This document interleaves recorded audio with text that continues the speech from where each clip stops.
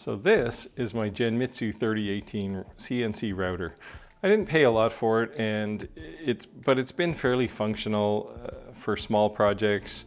It uses these eighth inch uh, milling bits. It comes with this nice little handy controller for moving things up and down and around.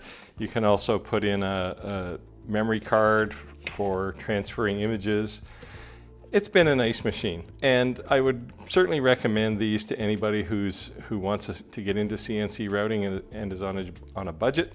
I've happily used it for, for more than a year now. I, previously I used uh, a Shapeoko uh, XL type router, but I just didn't have room for it at the time. So I bought one of these and it's been fine. So what's the real problem? Well, the real problem is my last project was this. and as you can see, it's not quite gonna, gonna cut the mustard. So while I would certainly recommend it for somebody trying to get into CNC, it's not the router that I have now and uh, we'll walk around the corner in my shop and I'll show you what that one is. So by contrast, this is a Onefinity X35 woodworker and you can see if I drop my old router on there you can see it's pretty substantially bigger. So I wanted to take some time to kind of describe what I like and don't like about this machine. Uh, I've had it for about four months now, so uh, I've, I've given it a good run. You can see there's sawdust everywhere. Uh, I actually just finished that sign I showed you um, moments ago. But uh, I'll walk you through you know, what I like, what I don't like, some of the things I've added that aren't stock uh, because you can't have any machine without modifying it. Uh, it does come with a display much like an upscale version of the Genmitsu machine. Uh, and the other thing it comes with is this cool joystick. So with that, let's get going and uh, we'll do a full review. How's it going everybody? Steve here. Uh, welcome back to the shop. And as I mentioned in the lead in, I want to talk about the Onefinity X35 CNC router that I have. I've had it for a while. Uh, it was a big upgrade from, from uh, my small Chinese spindle, uh, which I also liked, but it's just a little small for, for what I need to do. Uh, I showed you the sign at the start. Uh, I couldn't possibly ever make that with, with uh, a small CNC router. So this is why I did the upgrade and I had space in my shop for it. I did look at a few other options as well, CNC options. I looked at the Shapeoko, I looked at a couple of others and discounted some of them for obvious reasons. They were either too small, too big, too expensive. Uh, some of them used belts, some of them used really cheap screw drives rather than ball screws. The Onefinity just was the one, it just looks like a, a seriously industrial machine. So uh, with that, let's get going. I'll do you a quick walkthrough uh, of the machine and uh, then we'll just quickly do some pros and cons, why you would love one of these, why you may not want one, and uh, along the way I'll show you some additional features that uh, are options or things that I added on. So let's get going. Okay, so let's just take a little walk around here. Uh, obviously the, the whole point of the business is the spindle. In this case, it's a Makita router. You can see a few options here as well. I've got the Suckit dust boot, uh, some vacuum hose uh, running over to the back, and some of these clamps here are also uh, not provided, but they I use them to hold down. You'll notice the rails, there's two Y rails, one on, one on each side, and the X rail across the center. I got this thing they call the stiffy, which uh, makes the, the horizontal much more rigid since that's where all the weight is. And uh, you can see these, these tubes are quite beefy. They're probably inch, inch and a half, uh, maybe inch and three quarter. Uh, these gigantic linear bearings, which uh, which are pretty impressive. You can see the ball screws here, ball screws throughout, which is which is great. Uh, really adds to precision. Uh, up top, uh, standard stepper motors, stepper motors in the back. Now when you assemble this, uh, in my case, I got the quick change waste board, uh, which is this bracket across the bottom. And you can see it actually provides its own mount on the bottom. So setting, installing this this way, the, the tool this way is easy because you've got this sort of pre-squared frame.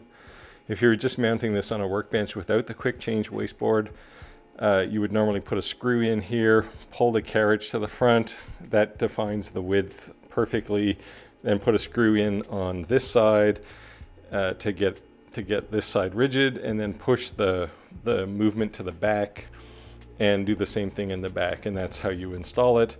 Uh, as far as assembling it, there's four screws on each on each end, and then you put the uh, x-axis on, and there's four screws on each side here. So really in 10 minutes you can have the tool up and running. You can certainly control things from the display here, and I'm sorry it's a little bright, but uh, you can control everything from here. You can also su subsequently control everything from here. You can see I can move things around, up and down. Uh, the four axes buttons here control the speed, and you can also hold the, the thumb buttons at the back and force only X or only Y movement. So uh, quite, quite interesting. Uh, if you are looking at one of these, uh, either a Onefinity or uh, other CNC, if you don't have this controller, you are making a sad mistake. This thing, I thought it was not going to be uh, very useful, but I live on the control now.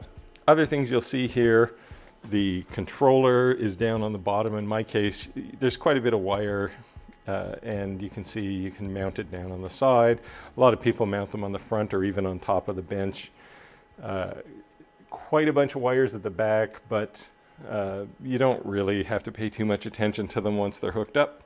Last thing is you'll notice on the side here I have uh, some metal brackets and some drag chain uh, for both the Y and if I can get around to the back here, uh, also the x-axis and uh, I put those in after there's the community is is uh, pretty good. So uh, somebody had designed a bunch of extra 3d printed parts both for here for the mounting on the on the cable handling on the router side uh, and some of the endpoints here. And I did that because uh, the cable handling in general isn't all that great, so cables just kind of float around if you don't do something like that. So I put those in and absolutely no regrets. The bed here is uh, about workable areas about 35 inches square, so lots of room, and uh, there's really not much else to tell you. The, the one complaint here is the T-slots that they provide in the uh, quick change wasteboard are not quite standard width. I don't know what width they are, but clearly they're designed to to use the Onefinity uh, workbench or clamps. Uh, mine are just something I got off of Amazon, and I had to kind of grind down the tab at the bottom so that they would slide into the slot. But other than that, no no drama. Uh, it's a nice little tool. So so there you go. Okay, so let's take a look at a few things that I, I really like here and things that I think could use some work. Uh, on the pro side, uh, easy installation and setup. It's really trivial to get this thing up and running. Uh, number two in this list, it's very solid construction. I showed you a bit of, of uh, how it's put together.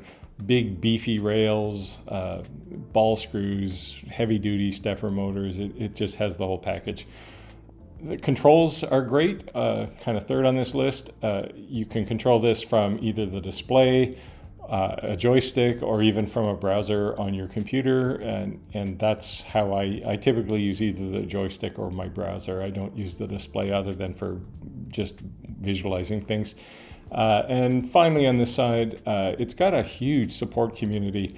Uh, I mentioned this when I was doing my Muse to, to Glowforge comparison uh, that the Glowforge has a massive community. The difference here is this community is is here because they want to help, as opposed to they're trapped on the platform and they have nowhere else to go.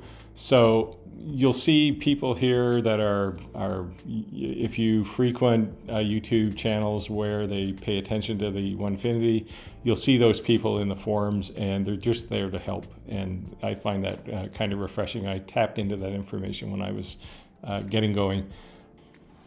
Okay, so a few things on the on the con side here. Uh, nothing uh, very serious, but there's just a few things.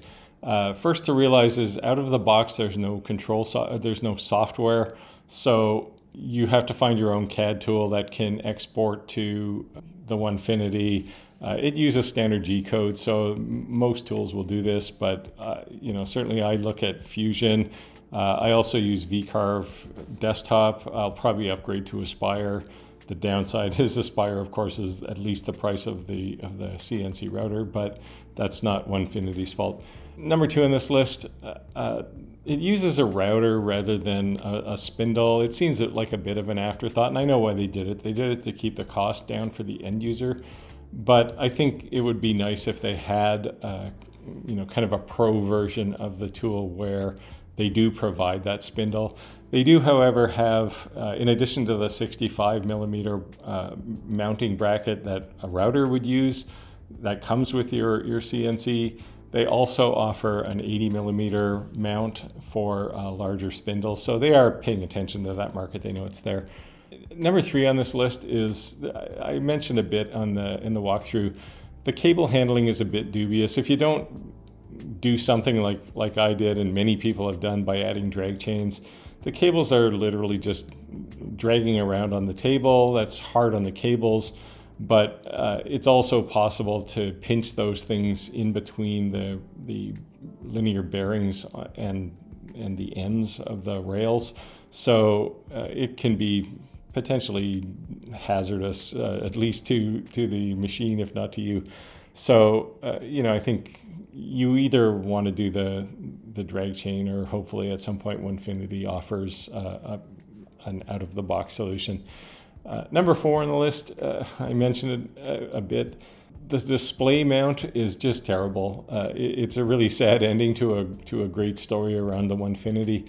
Um, I would have shown you mine, except I've made it disappear. I don't know where it is. Uh, it's in a box someplace, or maybe I've thrown it out.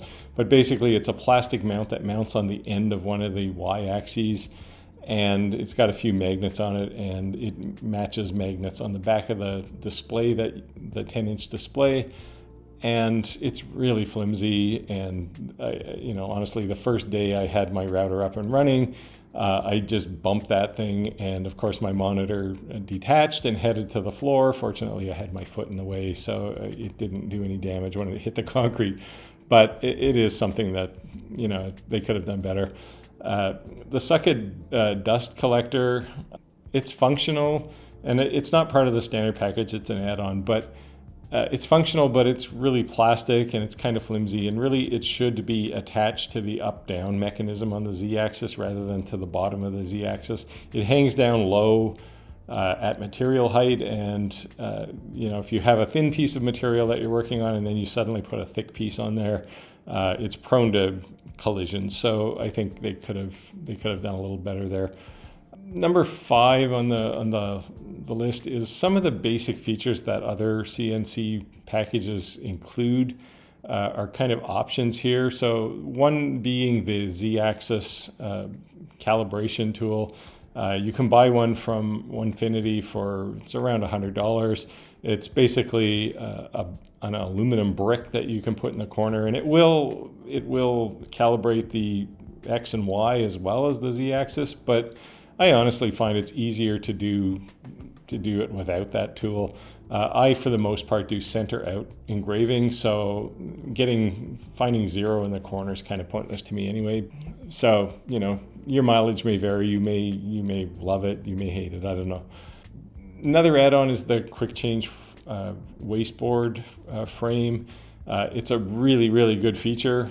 Uh, again, if there was a pro package, I would kind of expect that to be part of the pro package, but uh, it isn't. It's an add-on. It's a really useful add-on though. So um, but it is shocking that uh, you would otherwise just lay your CNC on a table and, and screw some wasteboard to the to the table, and, and that's how you would normally do it. I mentioned uh, dust collection already. It's an add-on. Now, Onefinity has three different versions of this. They kind of have low, uh, you know, good, better, and best.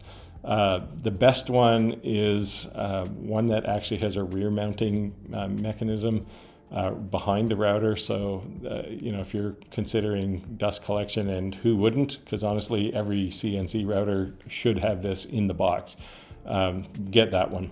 So there you go. There's my list of cons. Nothing really serious here, but just a few little things that annoy me. All right, so that's the, the basics of the Onefinity. I tried to cover at a high level all of the significant pieces. Uh, one thing I didn't talk about is the price.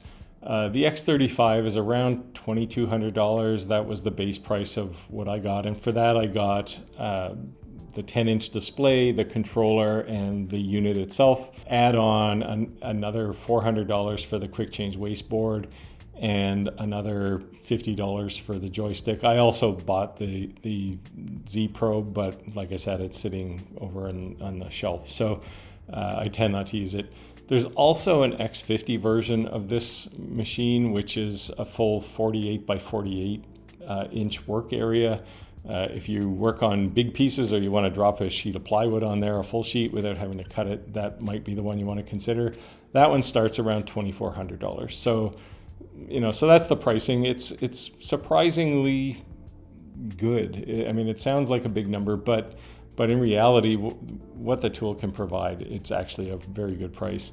So in summary, yes, I would definitely recommend the Onefinity X35 Woodworker. If you're in the market where you're beyond the, the Amazon style uh, Genmitsu type CNC routers, I have no regrets buying it and I, and I would buy another one today. It's, uh, it answers a whole lot of problems that I was having around just working with things that were thicker, bigger, uh, you know, anything that, that you typically would have a hard time cutting uh, by a laser. So it just does yet another uh, key chore in my workshop and uh, you know you might be considering that as well. So go check onefinitycnc.com i don't have a promo code for this so i get no kickback whatsoever if you buy one but uh, definitely i would still recommend it. Feel free if uh, if you're ordering one from them to drop the channel name in there so that they know i exist and that we as a group exist because i will i would like to do more videos around some of the other tools that makers use. Uh, I know I've spent a lot of time talking about lasers, but there's much more beyond that. So, so you know, keep that in mind. As always, I'll put a video up above here if you're interested. Go watch that, and I'll see you over there. Otherwise, go make your world, and I'll see you next time. Take care.